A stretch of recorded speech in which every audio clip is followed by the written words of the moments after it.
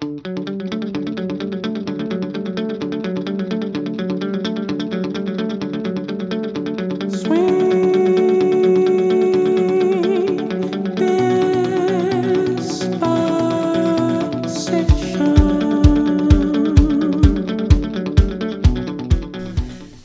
felici di essere insieme a voi oggi, è un giorno che abbiamo aspettato con, tanto, con tanta ansia, con tanto amore perché eh, è un appuntamento importante per noi e quindi siamo felici di essere qui, di essere in tanti e mh, vogliamo passare insieme un giorno costruttivo e arricchente per, nostro, per il nostro cammino personale come coppie e anche per coloro che sono a servizio della famiglia. Abbiamo, siamo felici, salutiamo Sua Eccellenza, la, la, ringraziamo di essere con noi, ci, fatto, ci, tenevamo che lei venisse, che stesse con noi non solo per la celebrazione della Santa Messa e quindi siamo, la ringraziamo eh, di essere qui. E abbiamo mh, mm, con noi Gregorio Vivaldelli, Gregorio, no, il professore, che è una persona Ecco, vuoi dire tu due parole su Gregorio? Eh, beh, su Gregorio. Gregorio ormai ha calcato parecchie volte la nostra Ragusa e quindi tanti lo conoscono. lo conoscono. chi non lo conosce lo conoscerà oggi. E ha dei talenti nel dire le cose senza fare venire l'abbiocco. eh, è, sposato con Emanuela che è sempre presente con lui anche se non c'è fisicamente perché quando con, parlate con lui eh, lui parla sempre di sua moglie, della sua famiglia, ha quattro figli, una bellissima famiglia e poi eh, è un biblista, un insegna sacra scrittura, insomma, diciamo anche questo. Quindi insomma basta, non parliamo più perché già è anche un po' tardi, quindi come, ti, come vuoi Gregorio, lì, qui come preferisci?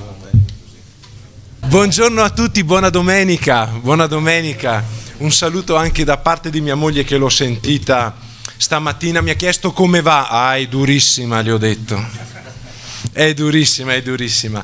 Eccellenza, buongiorno, grazie del, del, suo invito. Un caro saluto a tutti i volti già noti, anche a quelli, a quelli nuovi. Allora vorrei subito entrare nel nostro eh, argomento, nell'argomento che mi è stato affidato, che è un bellissimo argomento. Per fortuna mi hanno detto che abbiamo 18 ore a disposizione.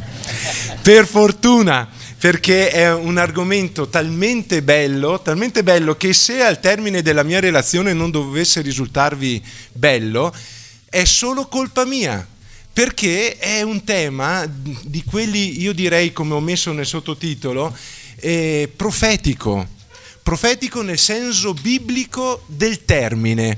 Eh, quando la Bibbia parla di profezia, quando la Bibbia parla di profezia, non parla tanto di preveggenti, cioè di Nostradamus per capirci, non è semplicemente la previsione del futuro. Il profeta biblico è quella persona che sa leggere il presente alla luce della parola di Dio. Cioè che sa attualizzare, per usare un termine un po' più tecnico, che sa attualizzare la Torah, la legge, il Pentateuco, i primi cinque libri della Bibbia, la sa realizzare nel contesto vitale nel quale si trova ad operare. Quindi, da un punto di vista eh, cristiano, fermarsi a riflettere sull'educazione e la corresponsabilità, perché mi pare che il tema pastorale proposto dal vostro vescovo è educhiamoci alla corresponsabilità. Soltanto specificare questi due termini ci richiederebbe tanto tempo. Ovviamente noi cerchiamo soltanto di dare degli spunti per la nostra riflessione e anche per i vostri lavori di gruppo che seguiranno questa relazione. Vorrei soltanto dire due parole eh, innanzitutto sul tema della educazione che come sappiamo è eh, il tema che i vescovi italiani ci hanno proposto per questo decennio, no? vivere la vita buona del, del Vangelo. Insomma. Allora, l'educazione, cosa significa oggi parlare di educazione? Guardate che tra educazione e corresponsabilità vuol dire che abbiamo deciso di parlare di cose che non ci inviterà mai la Maria De Filippi a parlare alla televisione. Cioè, noi parliamo di, di, di realtà che che anche con i nostri stessi figli avremo delle difficoltà. Mm? Se dovesse, qualcuno di noi dovesse candidarsi a qualche impegno sociale politico, sono temi che attirano pochi voti. E attira di più la protesta, la protesta fine a se stessa.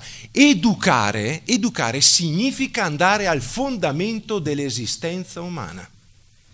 L'attività dell'educare, dell'educatore, il percepire il proprio servizio, il proprio ministero, la propria chiamata, la propria missione, la propria chiamata matrimoniale nel nostro caso, ma possiamo estenderla a qualunque tipo di chiamata, significa viverla come educatori, significa decidere di fronte a una casa che sta cadendo, significa decidere non limitarsi a pitturarla esteriormente di fronte a una casa che sta cadendo, educare significa avere il coraggio di abbattere quello che c'è da abbattere, consolidare quello che c'è da consolidare. Educare significa andare alle fondamenta e verificare se le fondamenta sono solide.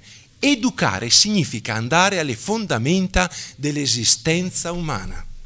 Educare significa andare alle fondamenta delle, delle nostre relazioni per la Bibbia significa andare a prendersi cura delle quattro dimensioni relazionali fondamentali, vale a dire eh, la relazione con noi stessi, con gli altri, con Dio e con il creato, soprattutto quella con Dio che porta tutte le altre relazioni. Per la Bibbia, se non ci educhiamo a prenderci cura di queste relazioni, lo ripeto, con noi stessi, con gli altri, con Dio e con il creato, se non ci educhiamo, rischiamo di vivere una vita di seconda mano.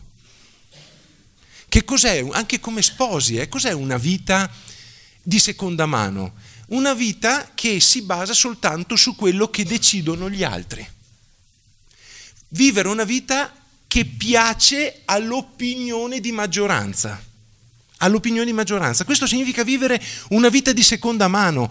L'educazione, soprattutto l'educazione cristiana, l'educazione che mette il Vangelo come prospettiva di vita, come proposta di vita gioiosa, l'educazione spingerà sempre, nel nostro caso i coniugi, ma ogni persona, ma nel nostro caso i coniugi, le famiglie, a vivere una vita di prima mano, cioè di il giocarsi completamente. L'educazione, diceva quel grande educatore che fu San Giovanni Bosco, l'educazione è questione, diceva testualmente, l'educazione è questione di cuore, ma non di cuore a livello bisogna essere dei sentimentaloni, di cuore nel senso biblico. Il cuore nella Bibbia non è solo la sede dei sentimenti, il cuore è la complessità di tutta la persona. Educare col cuore significa lasciarsi travolgere, coinvolgere con tutta la propria persona. Il vero educatore non è tanto colui che dice delle parole, ma è colui che prende il proprio cuore, lo butta in mezzo alla strada e lo fa calpestare dagli altri. Questo è l'educatore. L'educatore è colui che vive totalmente quello che cerca di trasmettere con tutte le sue capacità, ma anche con tutte le sue fragilità. L'educatore non si, non si baserà solo sulle sue qualità, ma scommetterà anche sulle sue fragilità. Pensate noi come genitori. Io prima di avere figli avevo quattro idee sicure su come educare i figli, io lo dico sempre questo. Adesso ho quattro figli e le idee latitano. Eh, io voglio dire, io, se qualcuno vuole chiedermi qualche suggerimento su come educare i figli, si rivolga a me, perché io faccio tesoro dei miei errori, io sono un esperto di errori. Io so che nel mio cammino come educatore non posso escludere i miei sbagli. Non posso escludere i miei sbagli, anzi la logica cristiana, che soprattutto in questo tempo di Quaresima la Chiesa cerca di, di, di, di insegnarci, la logica cristiana ci dice che paradossalmente la bellezza di quello che dobbiamo insegnare passerà anche attraverso la nostra debolezza, anche attraverso i nostri errori. Il genitore perfetto nella prospettiva cristiana è colui che utilizza la propria debolezza per trasmettere la propria fede o propria, le, i propri valori, eccetera, eccetera. Quindi capite che l'educazione taglia alla radice qualunque forma di vittimismo educativo. Eh, ma ormai io sono così, ma io non ce la faccio, non sono molto preparato, oppure i miei figli, io credo una cosa i miei figli fanno tutta un'altra. Io vorrei che i miei figli frequentassero chiesa. Ditemi cosa ho sbagliato, mi sento un genitore fallito. Quante volte ci sentiamo dire nella nostra... Magari non lo diciamo, ma magari la nostra coscienza ce lo rimprovera. Ma nel momento in cui abbiamo cercato di vivere il Vangelo, abbiamo scoperto che l'unica cosa che resta è l'amore.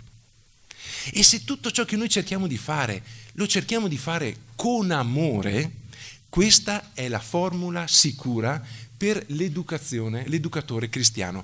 Un grandissimo personaggio, il cardinal John Henry Newman, non so se l'avete ancora sentito, un grandissimo personaggio, molto amato da, da diversi papi, come motto eh, cardinalizio eh, ebbe questo, eh, cor ad cor loquitur, vale a dire è il cuore che parla al cuore è il cuore che parla al cuore. Quindi quando il nostro vescovo, perché io sono un membro onorario della diocesi di Ragusa, eh, allora quando il nostro vescovo ci propone il tema dell'educazione, dopo ovviamente parliamo subito della corresponsabilità, ma dell'educazione è un invito a tirare fuori il cuore del nostro essere mogli, mariti, genitori, il cuore non puntare a chissà che cosa, ma al cuore a fermarci come coniugi,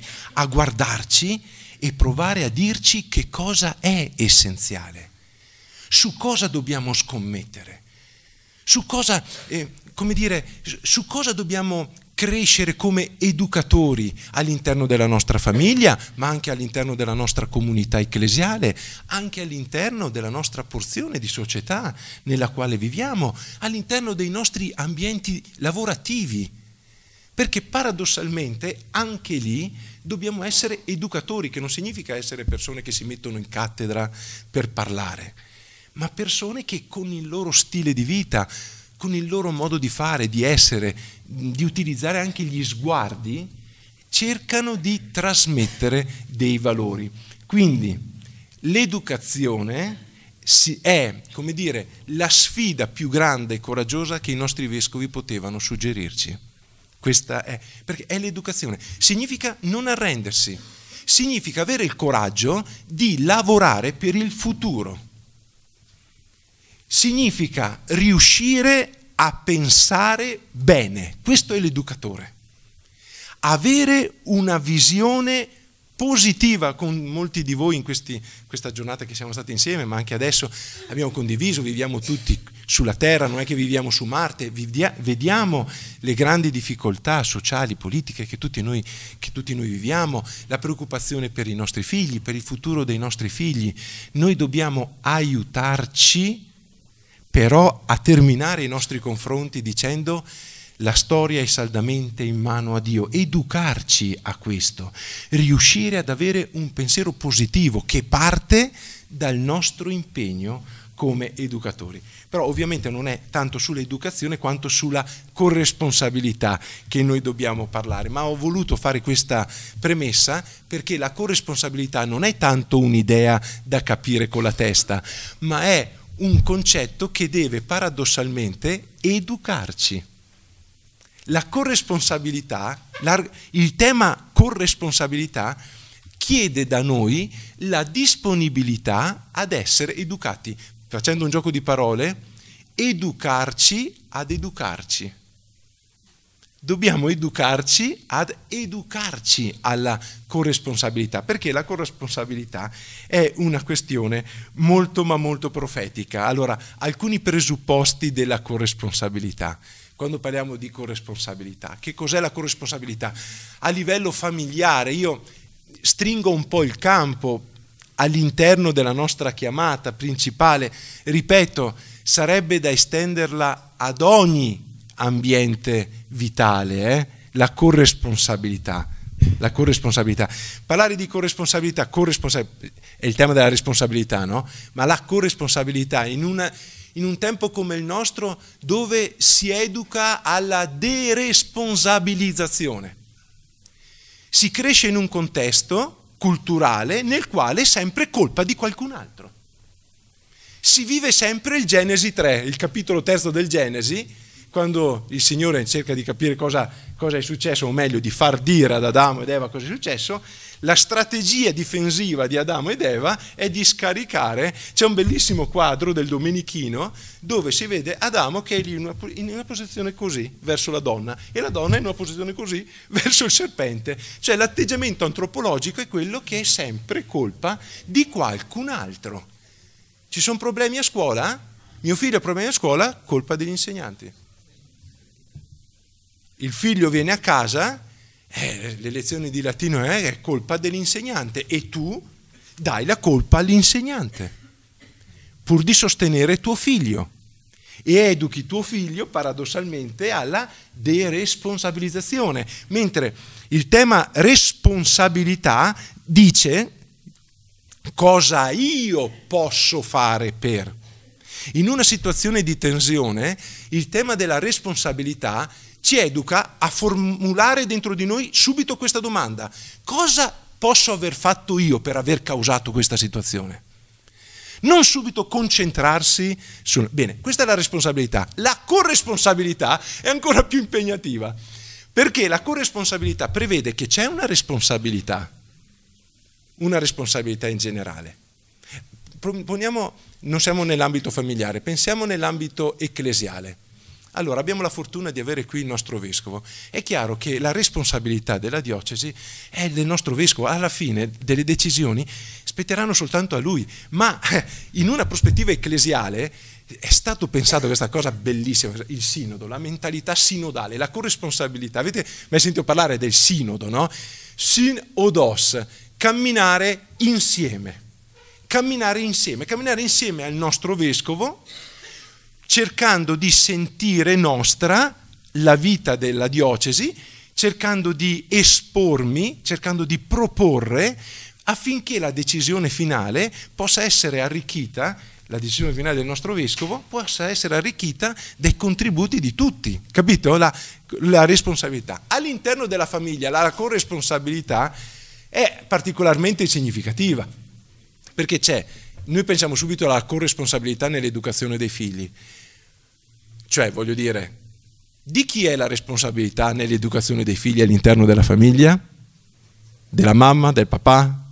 Più della mamma, del papà? Di quali ambiti? Quali ambiti? Allora, io parlo del, del, di come tenere la casa, di sesso parli tu. Quando diventano adolescenti. Esistono adolescenti in Sicilia? Ci sono adolescenti. Quella, quella razza c'è, c'è anche qua? Ah sì, c'è anche qua, voi cosa fate? Li tenete in gabbia o liberi? Que- que- quelli, quelli, che no, loro non parlano, grugniscono. Lui gli risponde, come va? Mm. Ci sono anche da voi? A tavola, a tavola, quelle, quelle, creature che una volta erano loquaci, che parlavano, ad un certo punto arrivano a un'età che non parlano più. Gli chiedi una cosa, Scusa, porta sulla, da noi si porta sulla legna, no? Perché noi, porta sulla legna, mm, svuota la, la lavastoviglie. E questa cosa qua. Bene, chi parla a loro? Mm, bene, allora a livello di educazione con i figli la corresponsabilità avremo modo di parlarne abbastanza chiaramente, ma all'interno della vita coniugale la corresponsabilità. Mm? Ecco, non voglio andare subito subito nel cuore, perché proprio dai vostri accenni dei volti ho capito che bisogna parlare eh, di questo, però vorrei fare delle premesse assolutamente indispensabili, assolutamente indispensabili. Alcuni presupposti della corresponsabilità nella prospettiva cristiana, perché non stiamo parlando semplicemente di corresponsabilità sociale, politica, noi stiamo parlando di corresponsabilità in una prospettiva ecclesiale noi siamo qui radunati come Chiesa, come Chiesa. come corpo vivente di Cristo che ha a cuore, che ha a cuore la trasmissione della fede, che per quanto ci riguarda è trasmessa attraverso, attraverso la nostra particolare chiamata matrimoniale. Allora, alcuni presupposti. La corresponsabilità si basa su un assunto che Gesù ha posto come legge fondamentale per la vita di ogni suo discepolo, fare dono di se stessi. La persona corresponsabile è quella persona che ha percepito il dono di sé come lo stile di vita fondamentale. La corresponsabilità ha bisogno, la corresponsabilità cristiana ha bisogno di persone che si aiutino a comprendere che il proprio io non è il punto centrale dell'esistenza. E io capisco che nell'ambiente culturale nel quale noi viviamo, dire questo mi fa prendere pochi voti. mi fa prendere pochi voti. Perché noi viviamo in un contesto che ci piaccia o non ci piace, gli studiosi lo, lo definiscono postmoderno, addirittura alcuni postumano, pone il soggetto, l'individuo al centro conti tu e noi lo respiriamo anche come coppia. Quindi tu mi vai bene nella misura in cui mi fai felice, è chiaro? Nella prospettiva cristiana la corresponsabilità invece è esattamente l'opposto. Io sono corresponsabile della mia vita coniugale nel momento in cui metto la gioia dell'altro al primo posto. Paradossalmente la gioia dell'altro è più importante della mia gioia. Paradossalmente se io sono felice e lei non è felice, io non sono felice. Paradossalmente se lei è felice e io sono meno felice per vari motivi, paradossalmente io sono felice perché sono corresponsabile perché sono corresponsabile, perché Gesù ha detto chi vuol venire dietro a me rinneghi se stesso. Adesso non dobbiamo pensare mortificazioni da, da, da che ne so, da, da monaco cistercense, che ne so, eh, non dobbiamo pensare, il, il Vangelo dice che mm, il rinnegare se stessi significa innanzitutto rinnegare il proprio io, l'idolatria del proprio io, il mettere noi stessi, le nostre idee, il nostro schema a livello di vita coniugale. Io ho un'idea della formazione dei nostri figli, dell'educazione, e tu ne hai un'altra. Eh, il presupposto della corresponsabilità cristiana ci, come dire, quasi impone ci impone la capacità di fermarci, di aprirci, di provare a valutare insieme, di valutare insieme l'idea che ho io non è l'idea assolutamente giusta, non è l'idea assolutamente giusta. Quindi la prima, no? Chi vuol venire dietro a me rinneghi se stesso. Quindi la corresponsabilità è la capacità di non mettere se stessi al primo posto. Seconda, secondo presupposto, vado un po' più veloce. La nostra vocazione, nella prospettiva della corresponsabilità, è una chiamata missionaria. Noi sappiamo che eh, per la eh, teologia cristiana ogni chiamata è missione. La missione è costitutiva di ogni dimensione vocazionale, cioè non esiste una vocazione che si esaurisca in se stessa. Una persona, la Bibbia è piena no, di questi personaggi, che una volta chiamati vanno, che una volta chiamati vanno. Quindi la coppia corresponsabile è una coppia che si coglie missionaria che scopre che la propria coniugalità, ma anche la propria genitorialità, non è fine a se stessa, non si chiude nella, nel proprio nucleo familiare. La propria esperienza familiare diventa una vera e propria azione missionaria, cioè della serie. Della serie. Se io di fronte a una discussione, anziché chiudermi, impormi sulla mia idea, cerco di aprirmi e di valutare insieme col mio coniuge quale potrebbe essere la soluzione migliore, cerco di mettere in discussione le, le, mie idee, i miei schemi, le mie chiusure, i miei pregiudizi, cerco, cerco, bene, nella prospettiva cristiana, se io faccio questo all'interno della mia casa, in realtà io agisco come un missionario nel Burundi. Io mi prendo cura della vita della Chiesa universale. Se io cerco come coniuge, come genitore, di crescere, di educarmi, di lasciarmi educare alla corresponsabilità in questo senso, io sono un missionario. A volte releghiamo la missione soltanto grandi, ai grandi invii, ai grandi invii. In realtà, in realtà, in realtà, se noi facciamo lo sforzo di giocarci un po' sulla corresponsabilità eh, nella nostra famiglia, noi diventiamo missionari. Terza, terza, qual è il territorio della nostra missione familiare? Perché qui stringo il cuneo, perché mm, mi è capitato di parlare di questi argomenti anche in altri ambienti, non soltanto all'interno di una pastorale familiare, però qui stringo il cuneo nel senso che parliamo della nostra vocazione specifica. Qual è il territorio della nostra missione? Il territorio. Cioè, della serie, quando io sono fuori da questo territorio, io devo capire che c'è qualcosa che non, che non va bene. Il territorio della nostra corresponsabilità, hm, della nostra missione, è la quotidianità. È la, tutto ciò che ci allontana dalla nostra quotidianità ci allontana dalla nostra missione, fosse anche l'esperienza religiosa.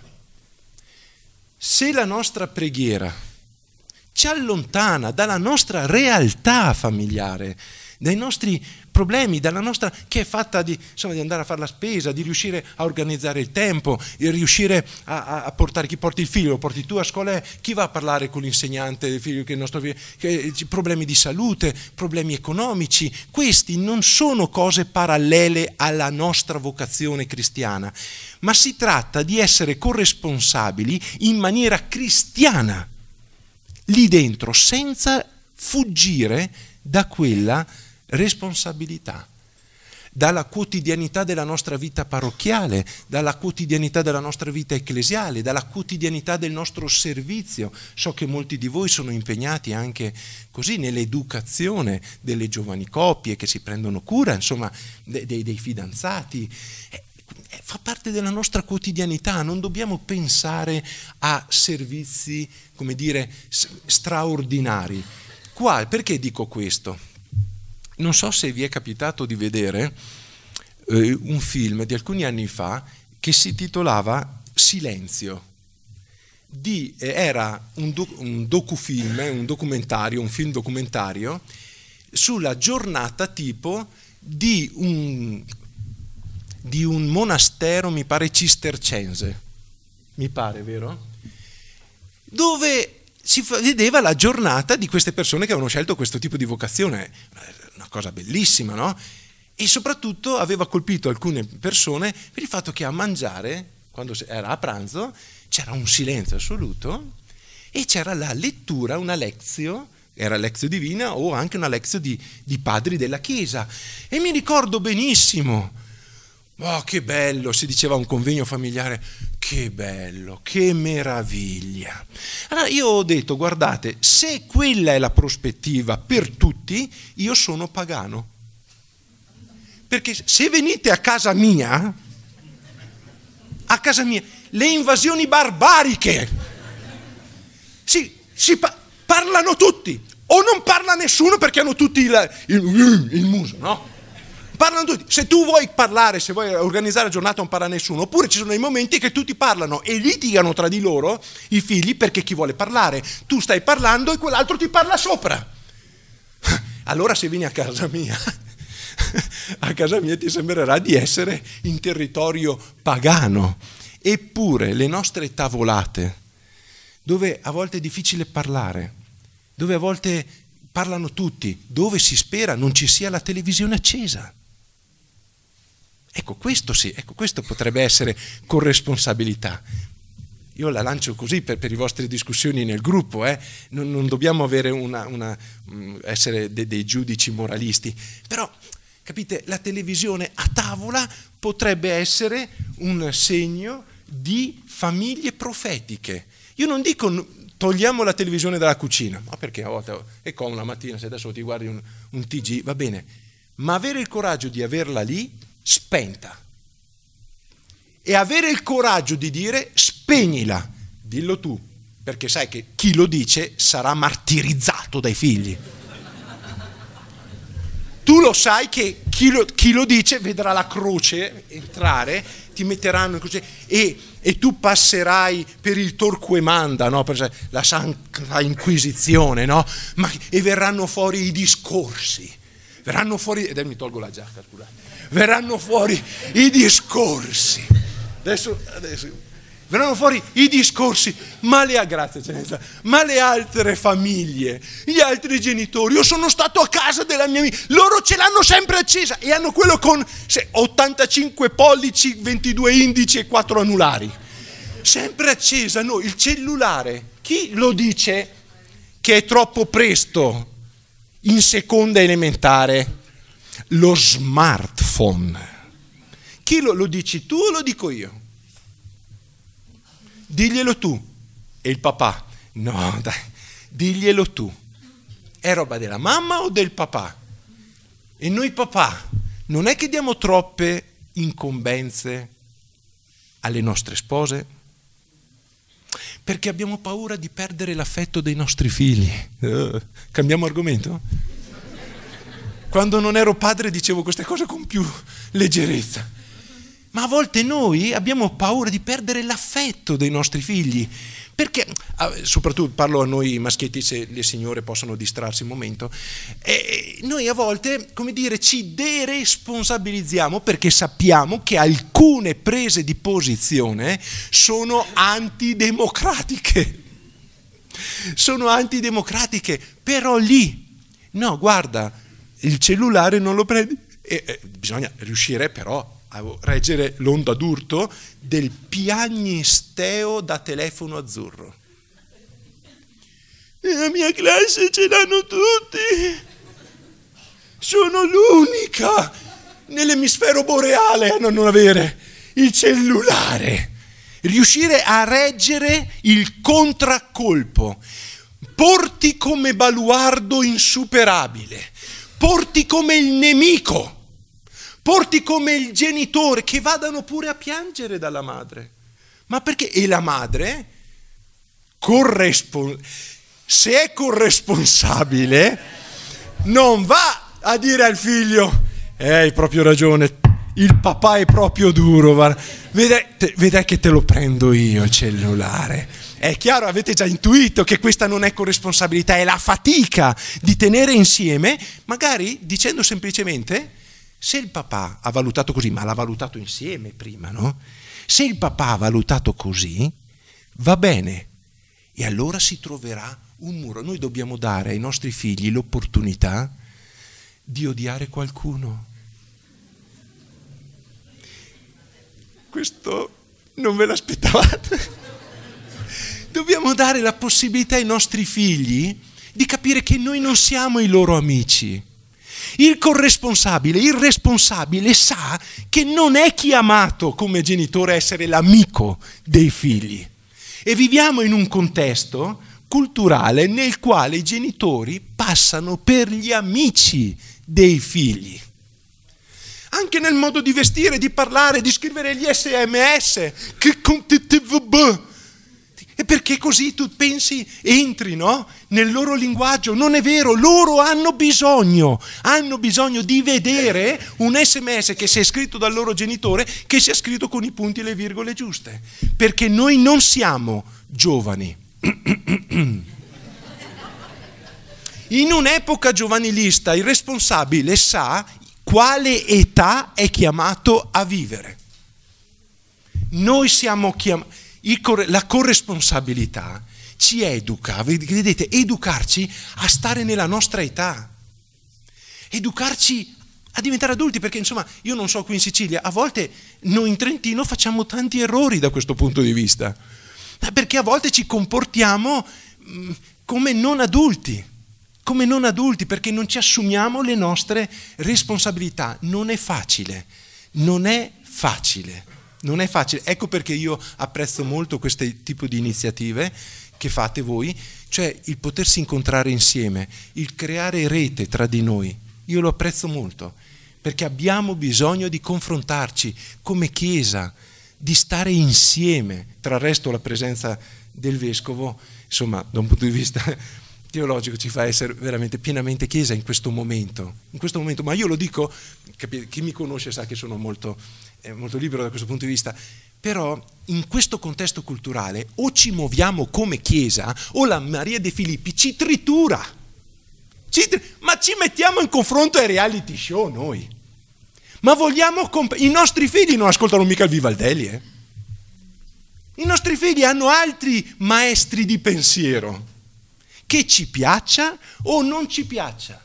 E se ci illudiamo che da soli, come coppia, se ci illudiamo che da soli ce la faremo a trasmettere l'educazione che vogliamo dare, la grande intuizione di Gesù è stato quello di generare la Chiesa, non dei singoli che vanno a diffondere il Vangelo, ma la Chiesa ma la Chiesa. Noi, è importantissimo che ci muoviamo insieme, che ci confrontiamo e quando abbiamo dei dubbi, di confrontarci, di aiutare, quando abbiamo delle paure, quando soprattutto sbagliamo, abbiamo bisogno di sentire che anche qualcun altro ha sbagliato. Se no ci sentiamo falliti e chi si percepisce fallito si deresponsabilizza si deresponsabilizza. Allora, questi sono i presupposti, quindi non stiamo parlando di, di pasta alla norma,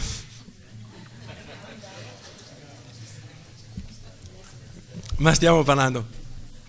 Allora, la corresponsabilità, dobbiamo subito, la corresponsabilità familiare è, dobbiamo aver chiaro la differenza tra il collaboratore familiare e il corresponsabile familiare. Facciamo proprio, mi permettete, questa distinzione linguistica ma che è contenutistica tra collaborazione e corresponsabilità, in ogni ambito della vita, ma nella vita familiare questo è fondamentale, nella vita di coppia. Un conto è essere collaboratori dell'educazione dei figli, collaboratori della nostra vita coniugale.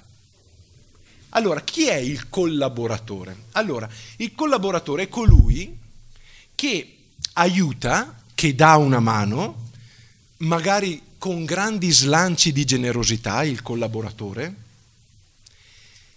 ma senza portare il peso della missione familiare, senza portare il peso. Hm? La missione familiare è fatta di scelte, è fatta di momenti di silenzio, è fatta di momenti di velocità e di momenti di rallentamento. Il collaboratore non si espone mai, non si espone mai. Dai, posso prendere il cellulare? Dai, comprami il cellulare, chiedilo alla mamma.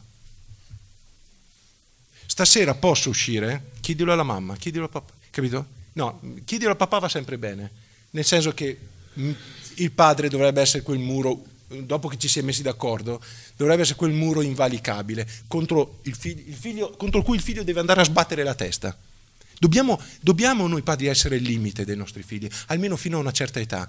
Il limite, perché intanto dopo li trovano fuori i limiti e se non hanno imparato prima che la vita è fatta di limiti, si troveranno spaesati, perché tutto è un limite, perché fuori tutti gli metteranno dei limiti illudendogli che potrà fare qualunque cosa, illudendoli, ma in realtà ci sono limiti dappertutto, dappertutto.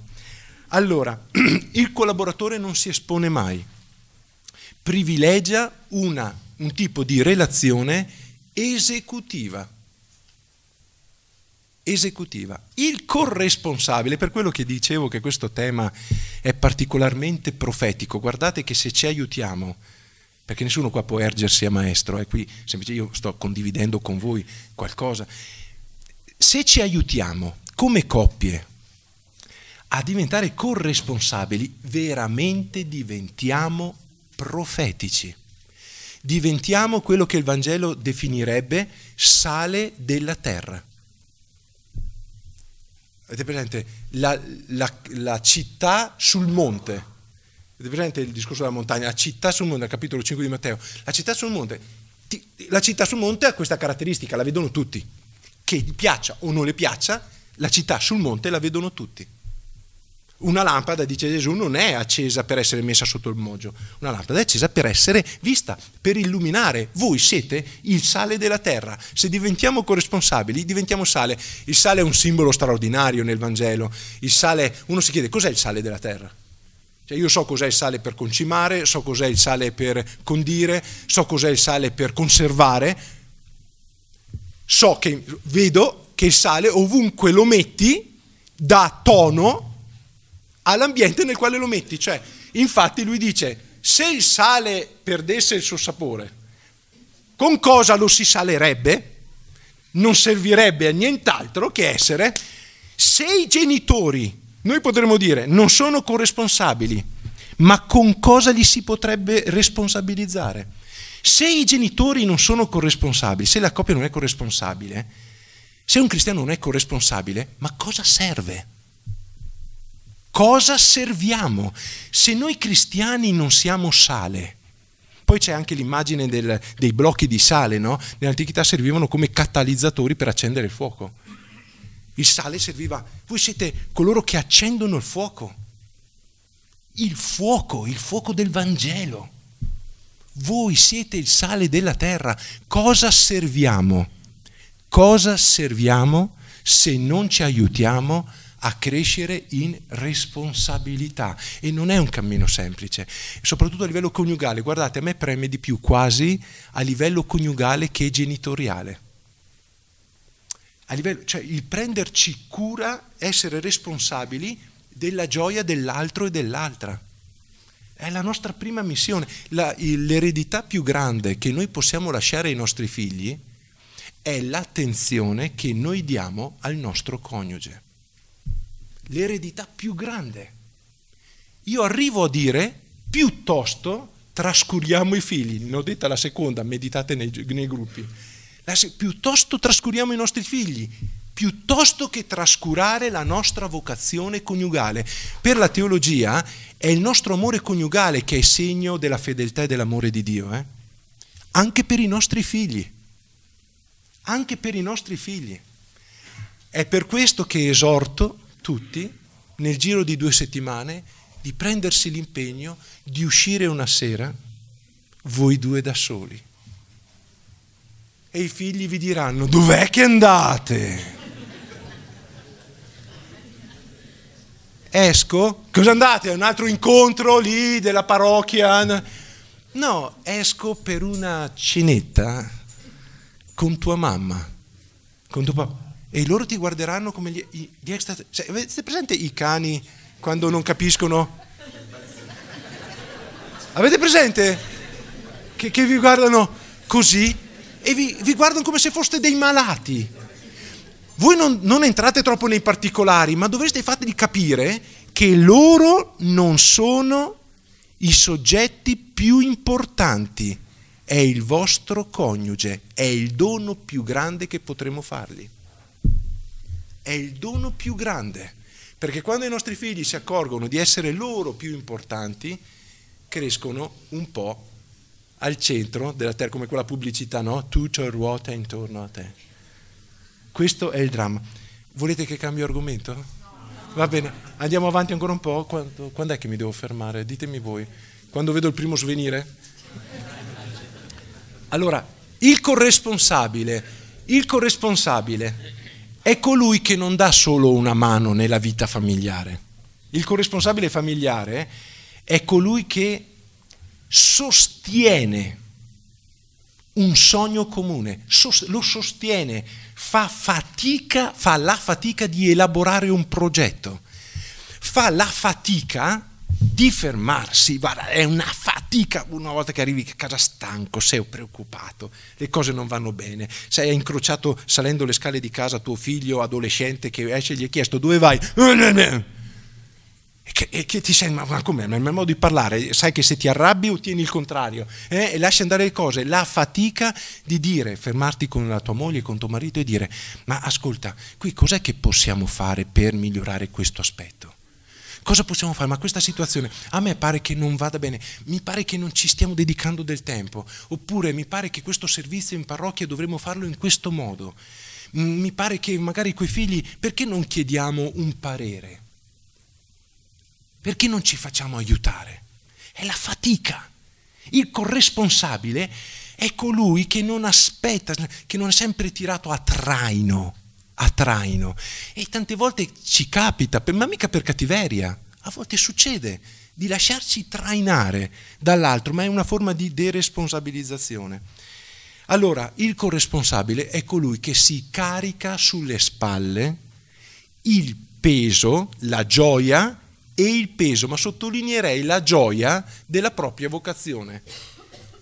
La gioia si prende sulle spalle l'incarico di far sì che la gioia scorra nella propria vocazione, che si prenda sulle spalle lo sforzo di generare gioia. E uno dice, ah, hai presto, ma la gioia è ad esempio tornare a casa il corresponsabile sa che molto dipende dal volto con cui entra in casa. Questa è la teologia del quotidiano. È la teologia del quotidiano. C'è la Chiesa, fa iniziare l'anno con una lettura bellissima, da, magari la riprendo il pomeriggio, tratta dal capitolo 6 dei numeri, il Signore faccia risplendere su di te il suo volto lo illumini, ma faccia risplendere il tuo volto. Ma immagina, no, ma se, il, il volto sereno, il volto sereno è il più grande dono di corresponsabilità che noi perché tante volte non abbiamo motivi per essere sereni, ma la scelta di avere un volto sereno non è facile, è il peso della corresponsabilità, perché la gioia, il 50% spetta a me, spetta a me, il 50% spetta a me. C'è un decalogo, eh, un decalogo per, eh, del re, corresponsabile eh, familiare. Allora, ve lo elenco, è materiale un po' per la, vostra, per la vostra condivisione nei gruppi, non vorrei soffermarmici eh, eh, troppo. E, ehm, allora, il primo, mi sono dimenticato un passaggio, adesso ho letto, quando vi parlavo del territorio della missione, che la, il nostro territorio è la quotidianità, non dobbiamo dimenticarci che nel Nuovo Testamento le case private sono state i luoghi di costituzione della Chiesa nascente.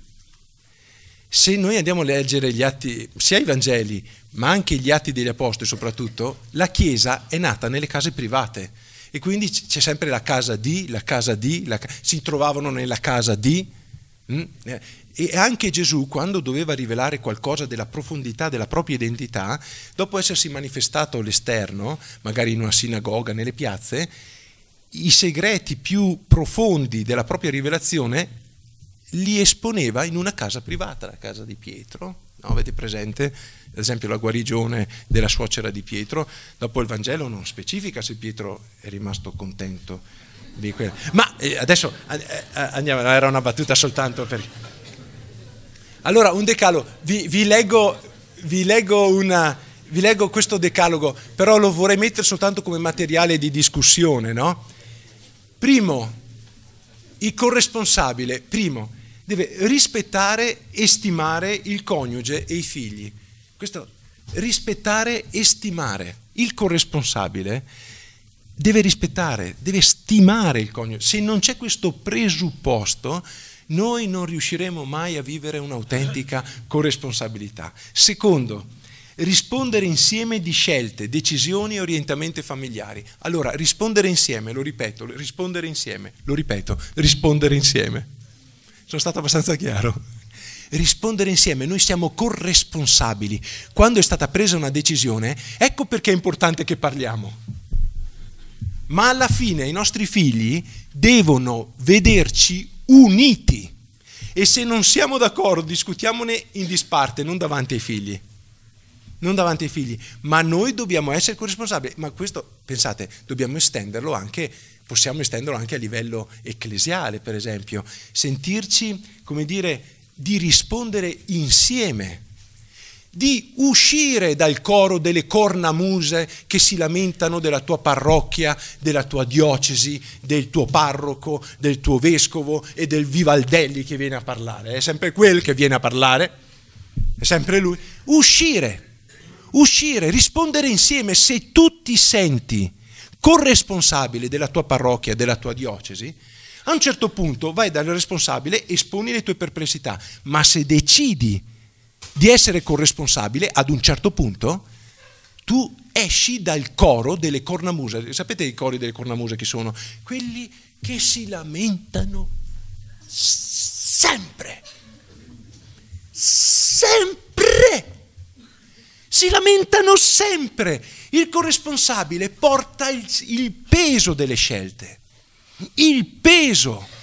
E che cosa farà quando sentirà una critica? Fosse anche giusta, pubblicamente spezzerà la catena della mormorazione, privatamente andrà a parlarne. Privatamente il corresponsabile sa che non deve alimentare il fuoco della mormorazione. Il corresponsabile sa che non deve alimentarlo, assolutamente. Terzo, ammettere e accettare i propri limiti. Il corresponsabile sa che il primo a sbagliare è lui. Quarto, dar credito, vado un po' più lentamente che vedo che c'è gente che scrive, dar credito al parere di persone sagge ed esperte. Dare credito, dare credito. Noi non sappiamo, non sappiamo tutto. Non sappiamo, abbiamo bisogno di imparare. Abbiamo bisogno di imparare. Quinto, il corresponsabile è colui che ha imparato l'arte di tenere insieme le diversità. Le diversità. Le diversità. Sesto, possedere la visione globale della missione familiare. A cosa siamo chiamati? Ci siamo mai posti questa domanda come coniugi? Eh, porcela, ma noi due a cosa siamo chiamati? Qual è la nostra vocazione? Cosa dobbiamo fare? Cosa dobbiamo fare? Mm? Quindi possedere insieme la visione, perché magari uno ha una visione diversa e quindi magari percepisce il partecipare a determinate riunioni come un peso. Cosa siamo chiamati a fare? Settimo, disponibili, quello che dicevo prima, a diventare adulti nel proprio ruolo, disponibili a diventare adulti nel proprio ruolo. Eh? Ottavo, curare la vita interiore con il raccoglimento. Questo purtroppo adesso non abbiamo tempo, ma sarebbe un, un argomento molto importante.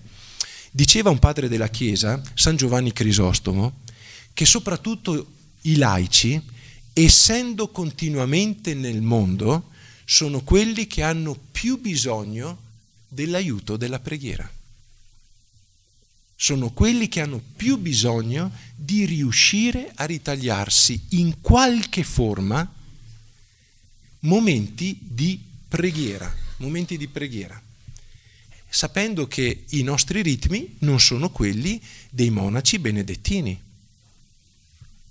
Eppure dobbiamo avere il coraggio di dirci, di, dobbiamo avere il coraggio di dircelo. Noi non dobbiamo pregare come un monaco, ma noi non siamo sulla luna, anche noi abbiamo bisogno di fermarci davanti a Dio, di chiedere luce a Dio, chiedere luce a Dio. E le nostre domande dovrebbero cambiare così, cosa devo fare? No? C'è il problema a scuola del ragazzo, del lavoro, dovrebbero cambiare così, anziché dire cosa devo fare, cosa dobbiamo fare, Signore, virgola, cosa dobbiamo fare? Dovrebbe cambiare in questo modo le nostre domande. Signore, chiaramente partire dalla preghiera, partire dalla preghiera. 9. Rimanere figli per poter essere genitori.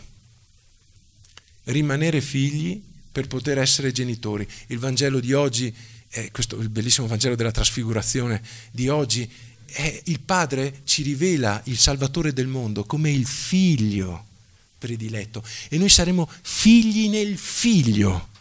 E più siamo figli, più riscopriamo la nostra figliolanza, più ci accorgiamo che siamo nelle mani di un padre amorevole, più riusciremo a affrontare anche le difficoltà della nostra missione.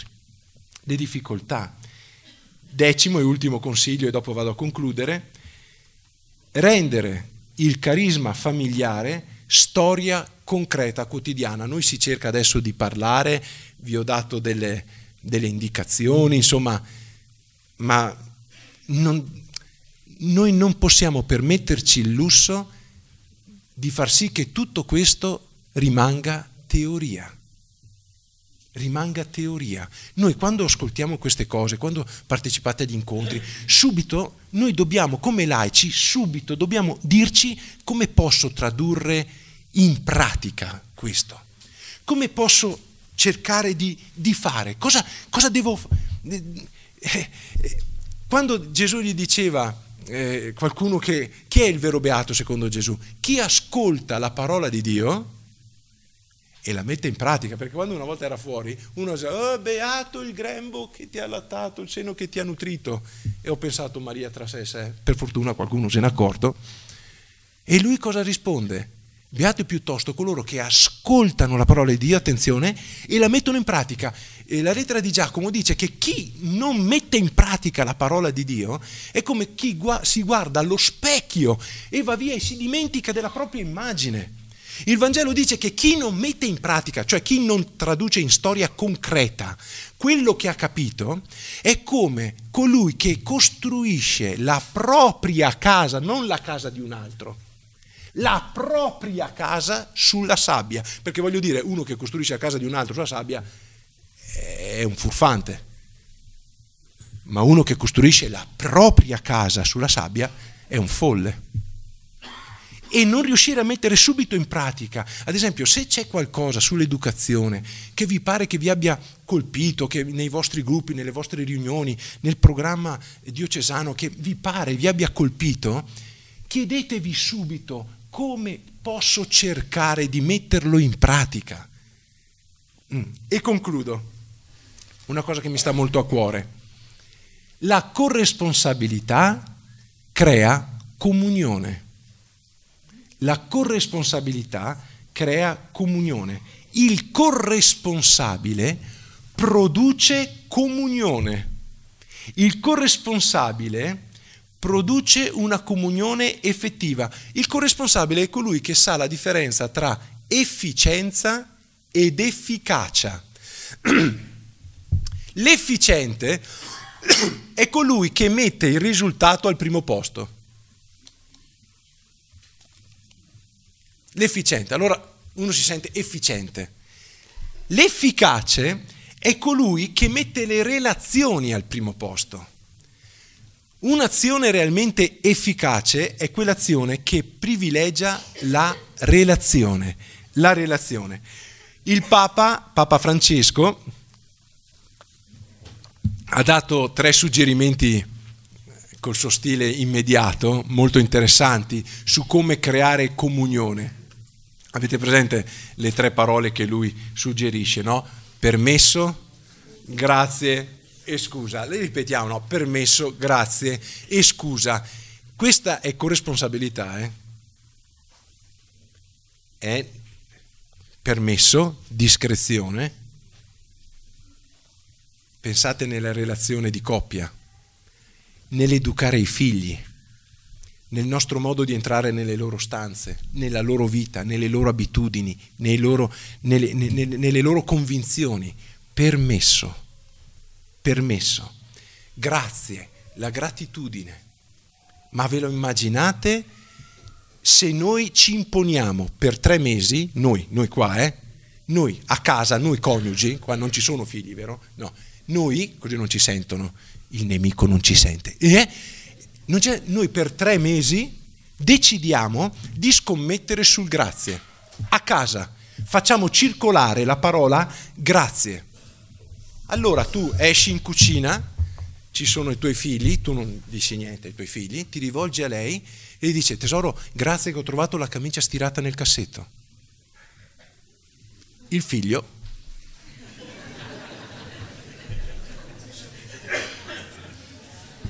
Ma, mai, aveva sen- mai aveva sentito. Ma grazie che hai fatto. Grazie, no, gra- e far girare questo grazie, guardate che questa è pura corresponsabilità evangelizzatrice, eh? pura corresponsabilità. E soprattutto chiedere scusa. Chiedere scusa. Voi sapete che mm, è più efficace che i nostri figli ci sentano dire scusa che dire loro dovete dire scusa. Dovete dire scusa. E concludo veramente. Ho cinque minuti, ho paura di aver sforato? Sì, va, cinque minuti. È perché volevo riprendere un episodio, non lo leggo, se no ci prende perché voglio lasciare il tempo per i vostri laboratori. Come avete notato è un tema che mi affascina tantissimo. Guardate qua si gioca la nostra presenza nella Chiesa e nella società, si gioca la nostra felicità. Eh? Più siamo corresponsabili, più siamo felici più siamo corresponsabili, più siamo realizzati. Questa è la verità. Allora, c'è un episodio nella Bibbia che ha dato il titolo anche al nostro intervento. Ti voglio dare un consiglio. Vi parlavo di sinodalità, che è una forma bellissima che la Chiesa eh, propone, no? Sin odos, camminare, strada, cammino, insieme, sin. Il modo sinodale che la Chiesa ha privilegiato, ci sono diversi modi, è quello del consigliare, del dare un consiglio. I sinodi servono soprattutto a questo. Dopo bisogna avere chiaro chi ha la responsabilità della decisione ultima, ma la corresponsabilità è riuscire a dare i consigli. Lasciatemi dire questa battuta. Allora, la prima volta che sono venuto a parlare in Sicilia, tanti tanti capelli bianchi fa, allora era stato a Caltanissetta, c'era Monsignor Garcia a Caltanissetta. Era d'estate, proprio prima, ero appena finito gli studi romani e mi avevano invitato a parlare e c'erano alcuni vescovi e c'era un John Garcia che era di una umanità straordinaria, mi aveva accolto, aveva visto anche che ero un po' timoroso. A pranzo, un caldo, non so se sapete, ma d'estate in Sicilia, per un, per un montanaro, cioè mi avevano portato a visitare la Valle dei Templi, io, io, mi sentivo un budino che si, stava, che si stava... Tutti camminavano normalmente, io iniziavo a vedere, sai, le oasi, i miraggi, no? Un caldo. Alla fine mi avevano... Ho visitato la villa romana, tutte cose. Alla fine, a pranzo, e il vescovo mi aveva gentilmente ospitato accanto a sé, io morivo dalla sete e nessuno beveva. Nessuno beveva. E io ero imbarazzato, non sapevo, insomma, non sapevo come muovermi, potevo immaginare 15 anni fa, non, ero timoroso, non, non, avevo il coraggio, insomma, e anche Monsignor Garcia un po' mi incuteva un po' di soggezione, insomma, ero così, ma era molto molto buono. A un certo punto non ce l'ha fatto perché o morivo disidratato, o c'era bottiglie del vino, bottiglie dell'acqua, eccetera, e per iniziare, intanto che arrivavano le 10-20 portate di antipasti siciliani, io prendo la bottiglia di acqua e non volevo versarla prima a me, io non vedevo l'ora di bere io. Però per Galateo faccio per versare l'acqua a Monsignor Garcia. A proposito ti voglio dare un consiglio. Monsignor Garcia mi disse col vostro bel dialetto che io non, non riproduco perché non ce la faccio, dottor Vivaldelli, in Sicilia l'acqua e i consigli, se non glieli chiedono, non li dia mai.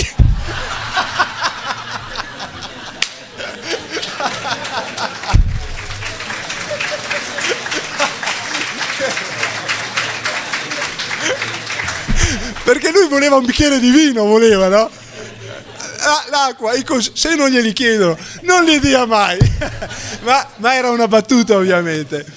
Invece la corresponsabilità, soprattutto un vescovo, ama chi gli dà un consiglio dato col cuore, col cuore. Perché un conto è dare una critica vestita da consiglio. No? Quando è che una critica è vista a consiglio? Quando esordisce così, non volevo dirtelo. E allora tu gli dici subito, non dirmelo! No, non dirmelo, nessuno ti costringe, tu sei una creatura libera, sta zitto. No?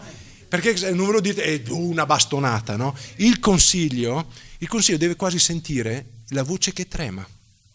E più il consiglio affonda le radici in un, in un problema delicato, più tu devi essere insicuro consapevole che il tuo è soltanto un parere, che però in coscienza davanti a Dio ritieni di dirlo, ritieni di dirlo e dopo ti liberi di quel consiglio, lo lasci, nel senso che non ti aggrappi della serie, qualunque cosa sia decisa dopo, tu non sei giudicato da se è fatto o non è fatto quel consiglio, tu hai cercato di esporre il tuo cuore, cioè cerchi di far sentire al vescovo in questo caso, ma anche al parroco, ai responsabili di pastorale, ai responsabili dei vostri gruppi parrocchiali, che non sono da soli, che non sono da soli, che tu senti la loro missione come tua, come tua, e riconosci il ruolo di responsabilità.